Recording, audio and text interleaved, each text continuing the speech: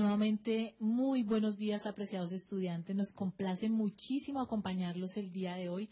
Eh, este es un día de celebración aquí en, en Secare Dupol, eh, porque muchos de los niños han venido, algunos con sus disfraces. Bueno, eso es algo muy respetable y además nosotros, o por lo menos acá en Eupol, le han dado un toque formativo muy, muy especial. Entonces, bueno, compartir con los niños, a nosotros que nos gusta el trabajo con ellos, ¿cierto? Es, es bien enriquecedor y bien bonito. Uno termina cambiándole la cara, ¿no, profe? No, además que ha sido muy bonito verlos. Yo tengo la fortuna de haber traído a mi sobrina. Entonces es así, wow, acá trabajas, esto es lo que haces, pero eres famosa, y uno, sí, claro. Entonces sí, sí cambia el ambiente, todo. Yo creo que eso es lo que ustedes deben sentir muchas veces cuando eh, están en clase, cuando están ven a sus niños. Puede uno decir que hay momentos que está cansado, pero es, es- son muy ener- energizantes, se podría Sí, decir, lo recargan sí. a uno. A, mí, manera. a mí, especialmente, profe, me, me quita, me cambia la cara. Ustedes dirán, ay, sí, se nota. Sí, claro, sí, me cambia la cara un montón. Eh, sí, es que la profe a veces tiene cara de, de, exigente. Y pues no, hoy es el día, el día más bonito de que hemos tenido acá en compañía de nuestros niños. Bueno, mis queridos estudiantes, saludándolos nuevamente, eh, diciéndoles a los nuevos, ¿no? Eh, hoy tenemos estudiantes nuevos, estudiantes de un nuevo corte que viene, que muy seguramente estén en, lo- en los cabos en este momento viéndonos, eh, tranquilos, no se preocupen, eh, la plataforma va a estar totalmente disponible y en condiciones para que ustedes suban sus actividades en los próximos días, máximo el miércoles, creo yo. Eh, y, van a tener exactamente las mismas actividades que los compañeros que ya llevan dos sesiones de, teleclase. Eh, bueno, ahí tienen su material para que se vayan poniendo al día y pues con los compañeros de CAU pueden ir indagando. Em, con los demás, pues bueno, sí, he estado ampliando actividades una y otra vez. Sé que nos van a autorizar una nueva ampliación de fechas, entonces tranquilos, para los que no han podido ir a buscar al niño, ah, Dios santo, yo sé que están estresados. Miren, esos acercamientos a lo que es en sí el rol del docente, que de hecho ustedes lo único que están haciendo hasta el momento es observar y preguntar. Pero estos acercamientos les van a abrir muchas habilidades, muchas competencias, muchas posibilidades. Posibilidades en torno a lo que es la didáctica, a lo que es el ejercer, eh, su rol docente. Les van a, permitir abrirse nueva- nuevas visiones en torno a lo que es la licenciatura en pedagogía infantil. Entonces, pierdan el miedo tranquilos. Sí, esos Tranquilos. acercamientos, ustedes hacen cosas un poco más complejas y, y esto nos va a dar miedo, lo vamos a sentir grande, como que no, no hay razón de ser para ello. Sí, hay que arriesgarse. Además que pues ustedes tienen que entender en cuenta que ustedes van a estar en una rigurosidad científica. O sea, acá ya empiezan a ejercer su rol como profesionales. Nosotros les dijimos, esto no es un técnico, esto no es un tecnólogo, esto es una formación profesional y ustedes tienen, es que no, no, no es que ustedes quieran, tienen que formarse de esa manera. Sí, con un toque bastante científico. El docente, independientemente del área en el que se desempeñe, eh, debería, debería en general tener un pensamiento muy crítico, un pensamiento muy teórico y tener una capacidad investigativa que empiece desde el primer momento en que ingresa a la universidad. Entonces, hagamos el esfuercito, intentémoslo. Vamos a hacer ese, ese ejercicio que muy seguramente es un ejercicio con el que también se van a encontrar cuando ingresen a práctica. Porque pues ya empezamos a hablar con las docentes para que eh, empecemos a hacer un ejercicio transversal y, y empecemos a llevarlos a la práctica de a poco en poco. ¿Bien? Entonces, bueno, vamos a nuestras diapositivas del día de hoy, que el tiempo corre, es corto en, en esto de, la, de las teleclases. Recuerden mi nombre, nuestro curso de Psicología Infantil.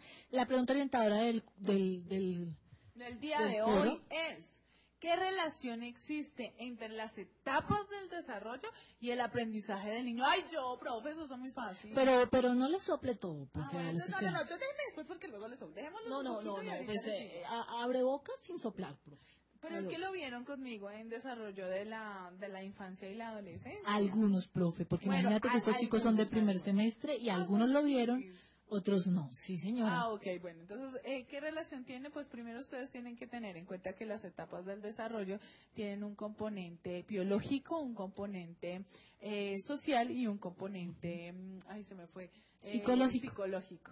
Entonces, Cognitivo. a medida que va desarrollándose el niño, eh, su cuerpo y se va madurando todo su cuerpo y su estructura eh, en, en su cuerpo, por ejemplo, su estructura cerebral, van ampliando eh, la cantidad de habilidades que pueden eh, aprender y desarrollar. Stop.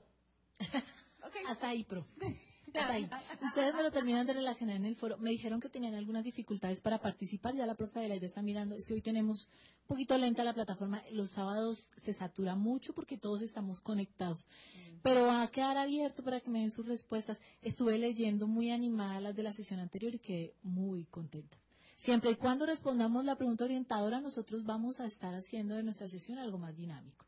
Muy bien, continuemos. Bueno, sí, ya tenemos abierta tareas de la unidad 2, pero las vamos a dejar para el final de la sesión. Vamos a irnos hoy directamente a lo que nos compete. Al final de la sesión, en los últimos, el último minutico, les voy a mencionar cuáles son las actividades de la unidad 2 que ya van a estar abiertas para que vayan realizándolas y no les coja la tarde, pues.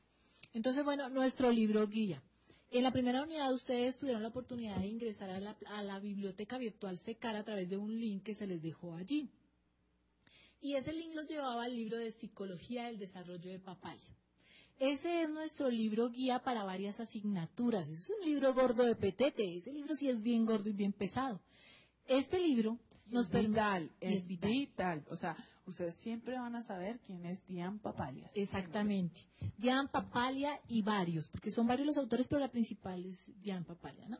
Entonces, este libro también se maneja en psicología para, para comprender las etapas del desarrollo del niño en los niveles que la profe Ade nos acaba de mencionar, nivel físico, nivel social y nivel cognitivo o psicológico.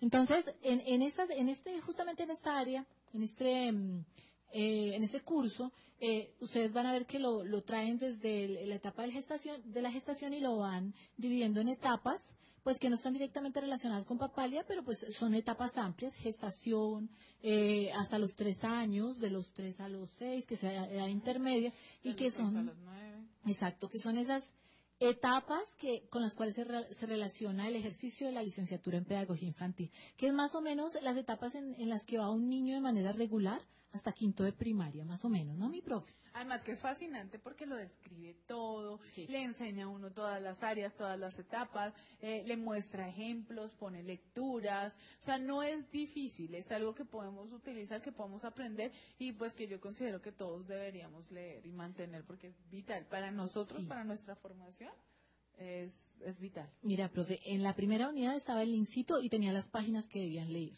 ¿sí?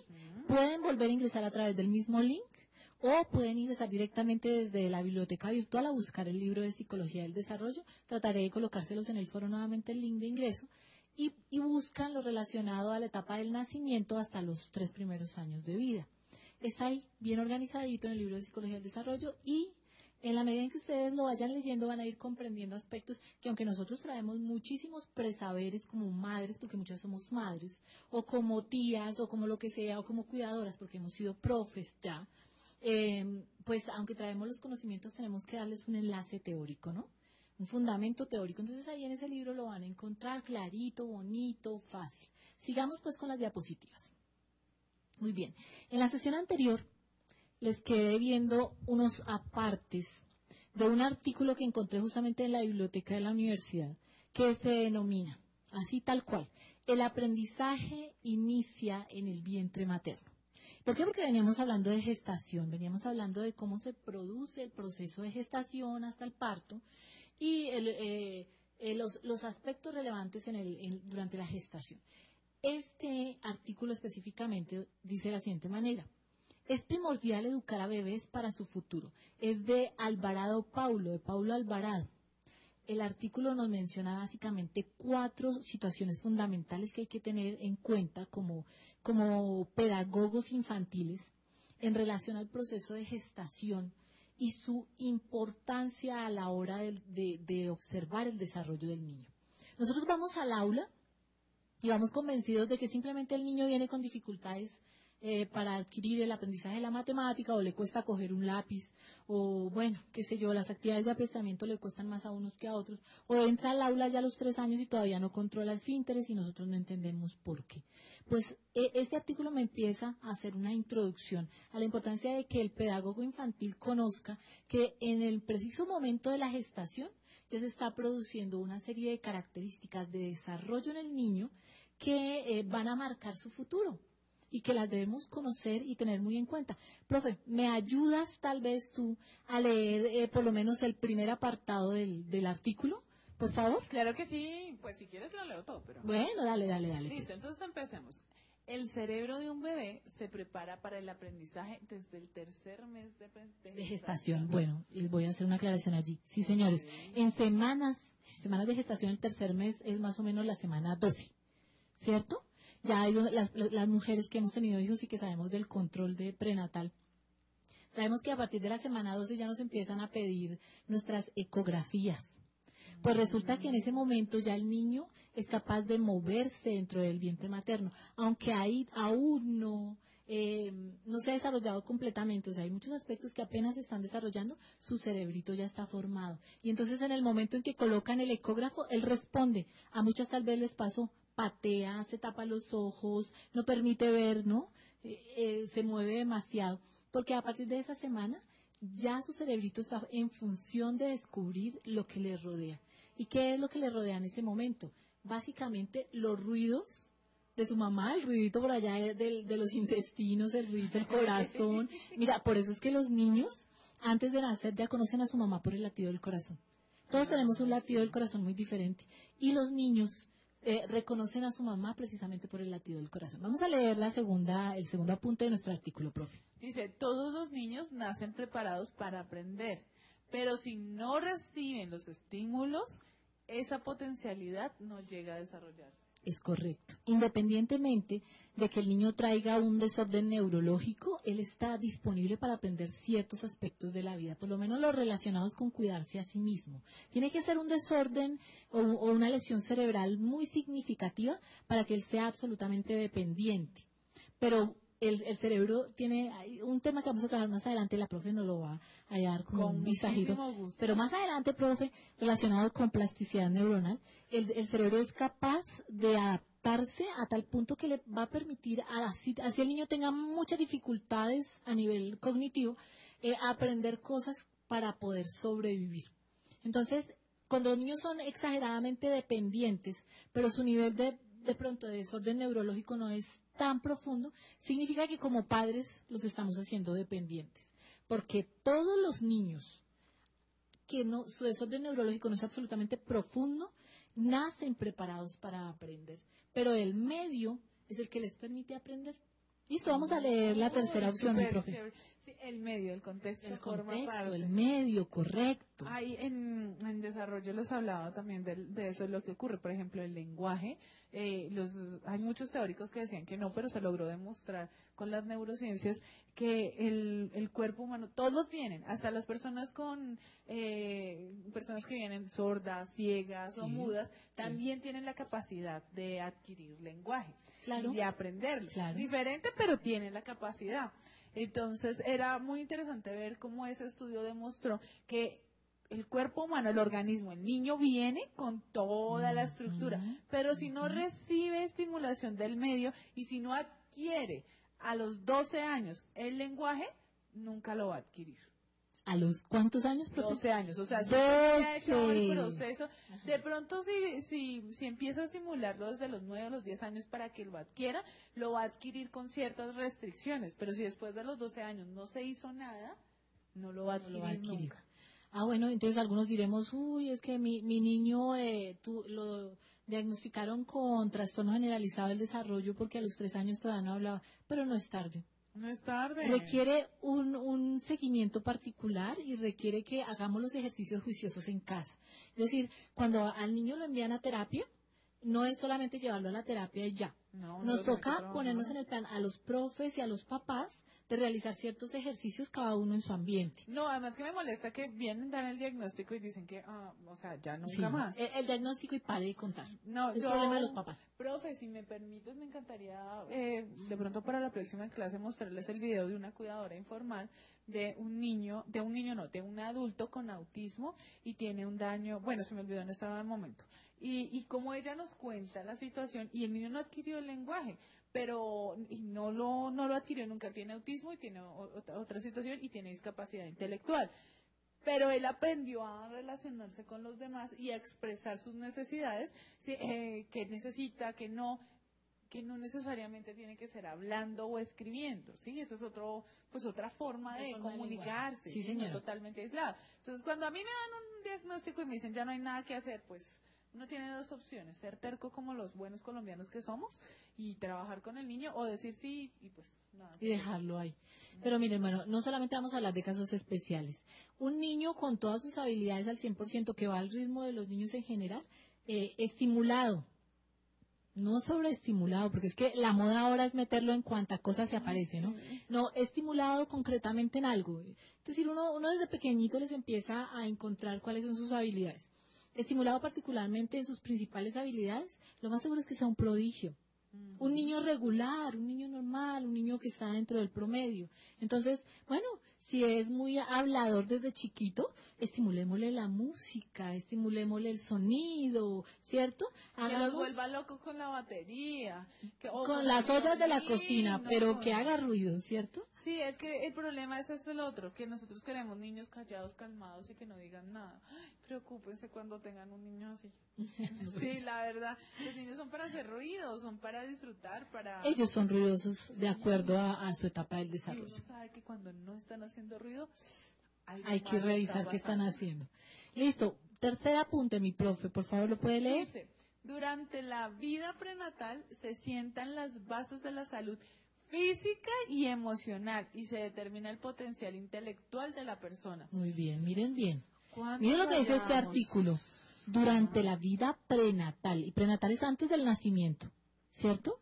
¿Cuánto fallamos a veces? ¿Cuánto fallamos? ¿Por qué? Porque nosotros a veces hacemos negación de nuestra situación, incluso en el embarazo. Por ejemplo, nosotros las mujeres debemos cuidarnos un poquito más, debemos cuidarnos de esos enojos tan fuertes. Es que el niño también vivencia nuestro enojo por el sonido del corazón. Cuando ustedes están enojadas, inmediatamente eh, se produce una aceleración en el corazón. ¿Cómo se le llama eso, profe? ¿Taquicardia? Eh, sí, taquicardia. Puede ser. Y efectivamente el niño nota que algo no está bien. ¿Y qué pasa? Pues él se está desarrollando y lo básico que son sus emociones, las emociones son innatas y que ya vienen con él, pues simplemente se van a disparar. Entonces ustedes van a sentir de pronto que el niño se mueve mucho por miedo.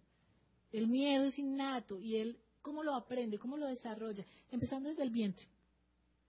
Entonces hay que tener mucho cuidado con, el, con los cuidados que se tienen durante la etapa de gestación. Y el último, el último comentario pues, de nuestro voy aprendiendo yo también. En la conferencia Educación Prenatal, la nueva revolución educativa menciona que la capacidad para tener éxito en la vida depende del cuidado que pongan a las madres en la etapa prenatal de sus hijos. Sin irse a los extremos, pero estoy muy de acuerdo con eso. Pero son los cuidados básicos, no los mínimos los básicos. Y los básicos son la alimentación, el sueño, el buen estado de ánimo. Con las mamitas hay que tener un poquito de paciencia porque las hormonas están bien aceleradas. Eh, bueno, eh, el ambiente que los circunda, mira, la violencia intrafamiliar marca exageradamente la situación de gestación y puede provocar que realmente el niño nazca con ciertas dificultades para relacionarse. Porque es que todas esas emociones que vive la mamita se están viviendo también allí en el bebé.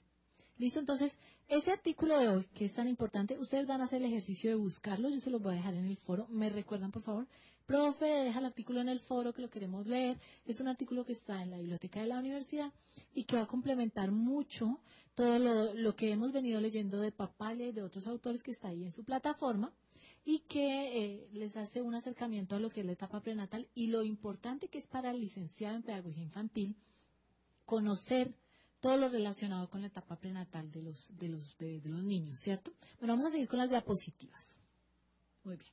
En la sesión anterior veníamos hablando de necesidades educativas específicas y las dividíamos en necesidades educativas transitorias y necesidades educativas permanentes. Y mi profe de la dirá, pero ¿cómo así que salto, no? O sea, pasan de prenatal a necesidades eh, educativas específicas. Pues es que nuestra tarea número uno y varias tareas se relacionan con eso, profe. Y la idea es empezar a observar eh, en el aula y, y posteriormente con el tiempo, o sea, para los que están tan asustados, con el tiempo aplicar un instrumento eh, eh, cualitativo y cuantitativo eh, que ya está diseñado para verificar específicamente en qué área del conocimiento es que el niño tiene más debilidades y con el tiempo, o sea, eso no va a ser en, la siguiente sesión ni en 15 días, eso les va a tomar tiempo, por eso ustedes van a seguir trabajando con el mismo niño durante cierto tiempo. Tiempo largo, es que en el segundo semestre ya empiezan a hacer su práctica y van a tener la disponibilidad para eso. Pero súper chévere porque, por ejemplo, eh, acá en la, en, la Secretaría de Educación hay una prueba que se utiliza es esa. que son los profes los que la aplican. es esa. claro, es la prueba tamiz, es la que ellos van a aplicar, la que nuestros ah. estudiantes van a conocer y aplicar. De hecho, es la única que está estandarizada. Entonces, por eso la vamos a manejar. La vamos a conocer. porque ellos van a adquirir unas competencias que no tienen los otros porque la mayoría de docentes acá hacen resistencia. Cuando nosotros les hablábamos que la prueba también no la podíamos aplicar las psicólogas, sino que la tenía que aplicar el profesor, el profesor se me quedaba mirando como, no, y yo sí. ¿Por qué la tiene que aplicar el docente o por qué la tienen que aplicar en el aula, en compañía del docente? Porque él es el que conoce cómo se está llevando a cabo el proceso de aprendizaje en el lugar específico donde nosotros requerimos trabajar, que es el aula. Entonces, como la prueba trae preguntitas específicas del aula, pues se tiene que hacer ahí. Entonces, tranquilos, no va a ser hoy, no va a ser mañana, no va a ser pasado mañana. En el momento solamente estamos observando y aprendiendo qué es necesidades educativas específicas. Estamos revisando eh, algunos aspectos del desarrollo del niño desde la gestación hasta la edad de los tres años. Vamos en este momento, de acuerdo a plataforma, en la unidad 2. Eh, tranquilos, no se estresen, vamos a irlo haciendo con calma, pero quiero que se pongan en el papel se pongan en la jugada, pues eh, vamos a aprender a hacer muchas cosas y vamos a hacer de este proceso de formación, aunque distante, algo que realmente les sirva a ustedes para la vida. Entonces, bueno, sigamos con las diapositivas. Súper chévere. Entonces, estuvimos mirando que nosotros vamos a trabajar específicamente con niños que, que tengan necesidades educativas transitorias que pueden estar relacionadas con el proceso de desarrollo del niño durante los primeros años de vida, ¿cierto? Eso se puede presentar pues debido a, las circunstancias específicas del niño, estas necesidades educativas transitorias generalmente no han sido diagnosticadas. Por eso yo estoy haciendo muchísimo énfasis en que no haya diagnósticos en los niños a los cuales vamos a observar. Eh, en cambio, las necesidades educativas permanentes sí requieren un acompañamiento y traen ya un diagnóstico. Y entonces ahí caben el autismo, caben eh, los problemas eh, relacionados con, con qué, profe, con la visión, ¿no? La pérdida de visión, caben los niños que, que requieren inclusión permanente. Sí, también hay unos que tienen, eh, pueden tener dislalia, pueden tener discalculia. Aunque esas, aunque esas, sin ser diagnosticadas, pueden estar en los niños que vamos a trabajar. Pero no les vamos a dar diagnósticos, a mí no me interesa dar diagnósticos. Mira, yo soy de las personas que más eh, procura eh, evitar los diagnósticos y evitar que los papás y los profesores se coman el cuento del diagnóstico. Dios santo, yo sé que todos los niños no van al mismo ritmo, que todos no se desarrollan al mismo ritmo, pero sí lo pueden hacer, siempre y cuando todos hablemos el mismo lenguaje. Decía la profesora, hasta los 12 años hay tiempo de aprender a hablar. Después de los 12 años ya no hay nada que hacer. Pero si a, mis, a los 3 añitos todavía no habla, tranquila, se va a tomar su tiempo y tenemos que estimularlo pero lo va a lograr si ponemos de nuestra parte y lo estimulamos. Que no camina a los dos años y medio. Ah, historia particular. Eso no camina a los dos años y medio. Pero vamos a hacer el esfuerzo, vamos a hacer el estímulo constante hasta que logre la habilidad. Decíamos en alguna otra clase, es como aprender a montar bicicleta. No, pues yo veo a mi mami que es cojita. Mi mamá nunca se le desarrolló la pierna derecha. Y cada vez que veo a alguien caminando con muletas o con bastones, yo digo, wow, o sea, le debió tocar muy duro esa parte de, la, de aprender a caminar, pero más que ver a esa persona, digo, ¿quién estuvo detrás de que lograra caminar? Exactamente, muy seguramente la mamá y algún profesor. Sí. Porque no hay más. Volvamos a las diapositivas, por favor. Muy bien, y decíamos que los trastornos, eh, eh, los Las necesidades educativas transitorias se denominan trastornos funcionales del aprendizaje que está relacionado con fallas en las destrezas relacionadas con la motricidad, entonces son los niños que tienen algunas dificultades para aprender, para correr, para saltar, ¿no? Entonces les va mal en educación física, están relacionados con los niños que no pueden coger bien el lápiz para escribir y eso afecta su proceso de escritura, están relacionados con los niños con dificultades relacionadas con el lenguaje, los que no desarrollan eh, pues un lenguaje adecuado antes de los tres años, pues les va a costar un poquito más aprender a leer y escribir. Destrezas, uy, un desastre. Yo un balón a lo lejos y, era como un imán, ese, me tenía que dar un totazo sus balones. No.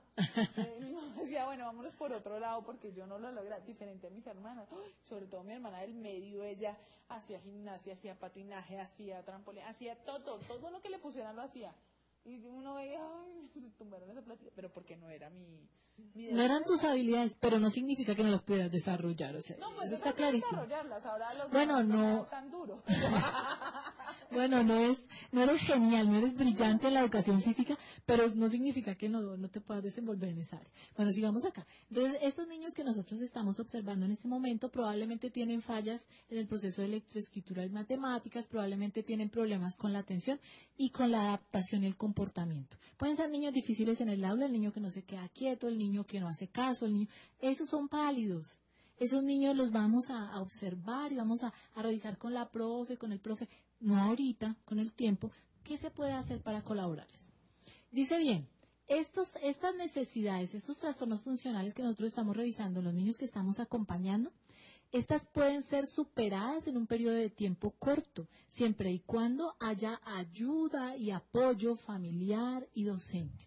Si a los niños se les deja solos, lo más seguro es que las necesidades educativas transitorias no se superen. Volvemos al mismo tema, la red de apoyo. Exactamente, debe haber redes de apoyo, redes de apoyo, muy bien.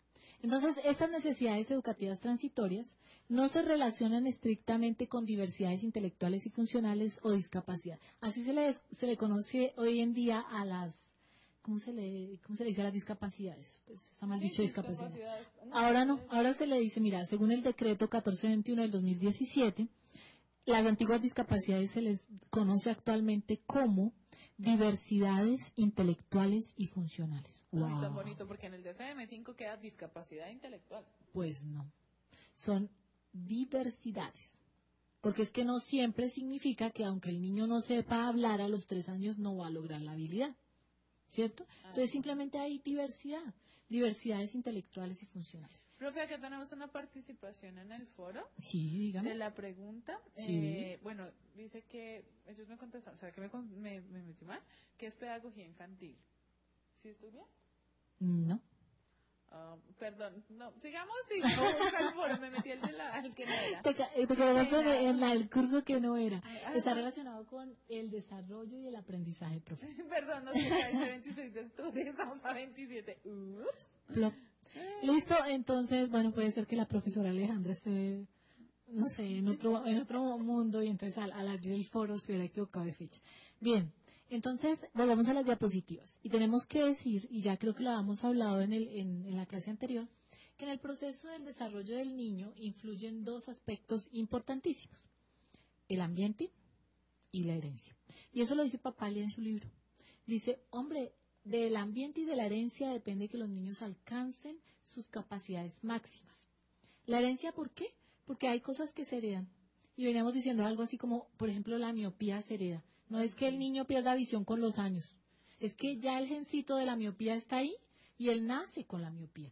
Si se encuentra la posibilidad de detectar la miopía al año o a los dos años, pues no le vamos a negar, porque vamos a ponerle sus gafitas, o le vamos a facilitar que mejore su visión, ¿no? que mejore sus habilidades, su desarrollo de su visión, que todavía está en desarrollo, o le vamos a garantizar que su proceso de desarrollo motor e intelectual sea el adecuado.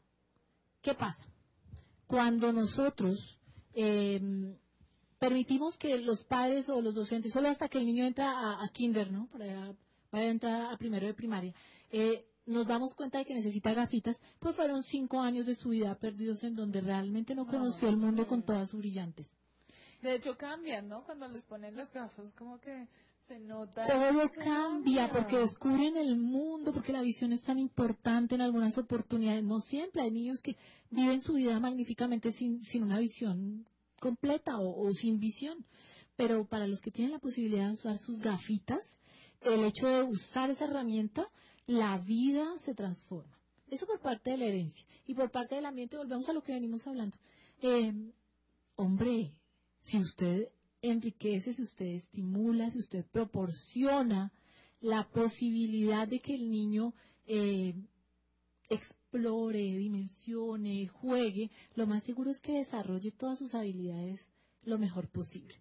Entonces, volvemos a la diapositiva para ser muy claros y decir, el proceso de desarrollo del niño está sujeto a las capacidades y habilidades del aprendizaje que se puedan desarrollar de acuerdo al estímulo del ambiente.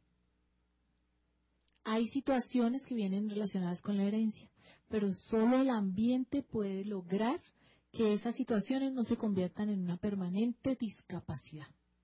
¿Listo? Continuemos pues. Y parte de lo que nosotros podemos hacer, ¿no? Es que volvemos al tema. Nosotros tenemos unos parámetros y una claridad sobre los procesos eh, y sobre todo el fundamento teórico, pero cada ser humano es diferente. Cada ser humano va a explorar todas sus eh, habilidades, destrezas y competencias de la manera que nosotros lo logremos eh, llevar o encaminar a eso. Exactamente, mi profe. es el papel tan importante del docente en primera infancia porque es que lo que se logra desarrollar de 0 a siempre, de 0 a 5, ¿cierto? Es para toda la vida. Y a veces los papitos, pues, por desconocimiento, eh, por falta de oportunidades, por falta de tiempo, pues no tienen la disponibilidad para eh, contribuir al proceso de desarrollo adecuado de sus niños. Y entonces lo ponen en mano de los profes porque, bueno, no significa que los profes eh, tengan toda la disponibilidad en tiempo, pero los profes tienen ciertas estrategias que son prudentes y que en relación con los otros niños van a hacer que nuestros chicos que van más quedaditos, ganancia de capacidades, las adquieran más rápidamente. Entonces, dice la diapositiva, los bebés, los bebés, es decir, desde el recién nacido, obtienen información, aprenden acerca del mundo e interactúan socialmente. ¿Por qué desde el, desde el recién nacido? Porque es que en, la etapa prenatal la relación es básicamente con la madre, con los ruidos internos de la madre, con la voz de la madre y probablemente con la voz del más cercano a la madre, el que atiendan permanentemente y hable más fuerte. Los bebés reaccionan, los bebés en el útero reaccionan más a sonidos fuertes, no específicamente a palabras. Entonces a veces se les dice, mamá, estimúlalo con sonidos, estimúlalo con, con ruiditos fuertes, háblale mucho, mamá. ¿Por qué? Porque ellos responden a la voz de la mamá, que es la que se escucha adentro. El, el ambiente en ese momento es indiferente. Pero resulta que después de nacidos, si obtienen información, aprenden acerca del mundo e interactúan socialmente a través de qué? De los sentidos, siempre y cuando estén desarrolladitos. Profe, pero no, hay una cosa también en el contexto, ya que hablas de lo, me hace pensar eso. Sí. Eh, que si hablamos del contexto, no es lo mismo una mamá que está en Bogotá, una mamá que está en estos momentos en Siria, porque el miedo, la incertidumbre, las bombas... Es que eso marca eso va a marcar y va a marcar al bebé. Claro, es que de eso veníamos hablando. El estado emocional, el estado ambiental, la violencia en la que se inmersa una mujer en embarazo, marcan determinantemente el estado del niño y probablemente el hombre. ¿Sí? Entonces nosotros a estas alturas de la vida, y le voy a meter un poquito de psicoanálisis, aunque sé que es imprudente de mi parte, a estas alturas de la vida decir, ¿y yo por qué a veces me siento tan sola, porque a veces me siento tan triste si, si mi vida es completa, ¿no? Entonces me diagnosticaron depresión, ¿por qué será si mi vida lo tiene todo? Y entonces yo diría, bueno, probablemente durante los primeros años de vida, incluyendo la gestación, tu mamá y tú tuvieron que pasar por situaciones muy difíciles. Y esas situaciones aún no han sido sanadas, están en tu parte inconsciente, están por ahí guardaditas en lo más profundo de tu cerebro. Y como no han sido sanadas, pues a veces salen a flote. ¿Sí? Y, sí, y, exageradamente alteran nuestra salud mental. Entonces nos toca es como hacer una revisión con mamá y preguntarle, mamá, ¿y cómo fue tu embarazo? Cuéntame de ti. Hace nosotros crecemos y no sabemos nada de nuestro pasado. Y como que esa brecha, cerrar esa brecha nos hace falta. Entonces, si preguntar para poder sanar es, es adecuado. porque nos permite hablar, dialogar al respecto y cuando tú dialogas y, y exploras y haces ese proceso de revisión y de perdón, pues mejora la calidad de vida, ¿cierto? Bueno, ya saliéndonos de ese toquecito de que, bueno, cómo influye el ambiente, volvemos a que los bebés exploran y conocen el mundo a través de los sentidos. Por ejemplo, hay tres sentidos que tienen, eh, que, que usan los bebés recién nacidos de manera general. La visión, la audición y el olfato. Mira, yo tengo estos, estos dáticos. Entonces, por ejemplo, relacionados con la visión. Inicialmente, los bebés recién nacidos ven máximo hasta 30 y- 36 centímetros de distancia. ¿Qué quiere decir? Que ellos, No ven mucho. no ven- ¿no? ¿Y a quién reconocen? ¿A la mamá? Porque la ven siempre y están cerca. por la Porque cuando los amamanta, Ah. están, no creo que a 36 centímetros, a menos. Entonces, ¿qué pasa? El rostro que reconocen es el de su madre.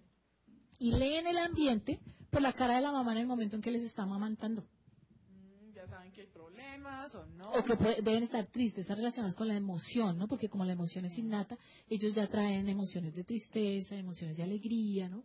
Y, y pues ahí lo, re- lo empiezan a relacionar. A partir de los seis meses aparece la agudeza visual. De hecho, el color de los ojos de los niños cambia en las primeras semanas de vida. Y decía un oftalmólogo, cuando nacen con los ojos claros, no, mamita. no, ¿cuánto es que tiene el bebé? ¿Un mes? No, no, no, mamita, espérate hasta los tres meses para Y saber les rompe el exactamente. corazón, así pasó Sí. con mi sobrino. Sí. O sea, nació con los ojos grises y todo el mundo, ¡ay, va a tener los ojos azules! ¿Qué? A los tres meses viene, ahí no diga nada. Porque se está procesando el proceso de mielización de la córnea o algo así. Sí, Entonces, la visión solamente gana cierto nivel de agudeza cuando no hay miopía o no hay otros problemas de visión hasta los seis meses. En relación a la audición, por ejemplo, los bebés pueden escuchar sonidos desde el útero, pero esos sonidos, ya les dije, están relacionados con los sonidos de la mamá y sonidos fuertísimos y estridentes del ambiente. El recién nacido detecta la dirección a la- a la- de la que provienen los estímulos auditivos para voltear la cabeza como reflejo. Entonces, cuando los evalúan neurológicamente en los primeros meses de vida, les hacen preguntas a las mamitas como, mamá, él voltea si yo le hablo, entonces si la mamá dice sí, el médico se va por allá para un lado y hace un ruido. Y luego se va para el otro y hace un ruido. O les chequean, les, ¿cómo se dice? Les, Eh, les- hace un sonido, los- los- los oí- los dedos en un oído y en el otro. ¿Cuál es el objetivo? Que el bebé reaccione hacia donde está el sonido como una manera de reflejo. Y es un reflejo que me va a permitir determinar que el niño si viene neurológicamente apto o no hay algo por qué preocuparnos en relación a la audición. Y si, y si la hay, pues le ponen, le hacen el proceso de ponerle el, el, el que, el audífono, de ayudarlo con el desarrollo, o sea, Inicialmente, profe, de trabaja. 0 a 3 años hablamos de potencia- potenciales auditivos, que es un examen específico que se le hace a los niños para ver hasta qué punto se les puede ayudar. O sea, en los, en los primeritos añitos de vida no manejan audífono.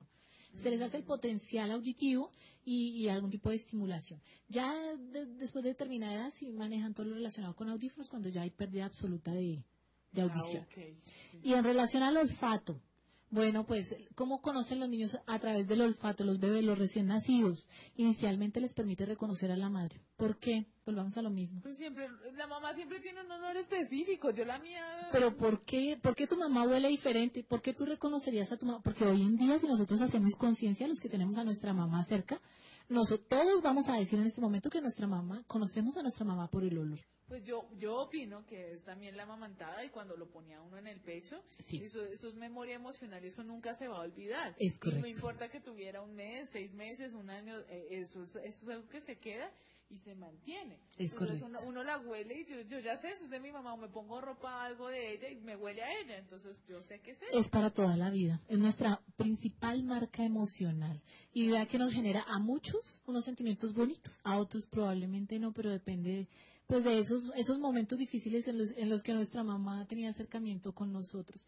Por eso es que se le recomienda para los, los profes de primera infancia cuando vayan a hacer esos acompañamientos a las mamitas gesta- en, en etapa de gestación, se les recomienda a las mamitas disponerse a la etapa de- en el momento de amamantar, ¿no? No estar de mal genio, no estar angustiadas, ¿no? Porque es que todas esas cosas se transmiten y se va a quedar en la memoria ya muy, muy interna del bebé. Es duro ser mamá, ¿no? Porque toca mucha autorregulación.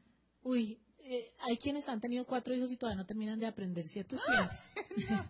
Yo creo que con uno ya estaría en crisis, no me imagino con cuatro, no mi mamá hizo con tres. Óyeme, el tiempo es tan corto. Mira, iba a seguir con la diapositiva de diferencias individuales en los recién nacidos y ya se nos acaba el tiempo. Yo quiero motivarlos a leer porque es que sin leer no podemos eh, introyectar esta cantidad de información que es tan importante y tan vital para nuestro proceso de formación. A veces creemos que no las sabemos todas y no, no, no, no, no, no. Hay mamitas que por experiencia y porque les ha tocado enfrentarse a situaciones muy difíciles traen muchísimos conocimientos. Y hay otras que en ese momento están en proceso de duelo por muchas situaciones particulares. No solo por pérdidas del bebé, sino porque a veces entender que nuestros hijos no van al mismo ritmo de los otros requiere hacer un duelo. Pero no perder la fe ni la esperanza. Hay que ganar habilidades, hay que sacar mucha interés, mucha fuerza, continuar y brindarle el apoyo a, esas, a esos pequeños seres que nos rodean y que nos necesitan. Entonces, mi profe, muchas gracias por habernos acompañado el día de hoy. Muy chévere, muy chévere. Un abrazo para todos, que tengan un excelente día.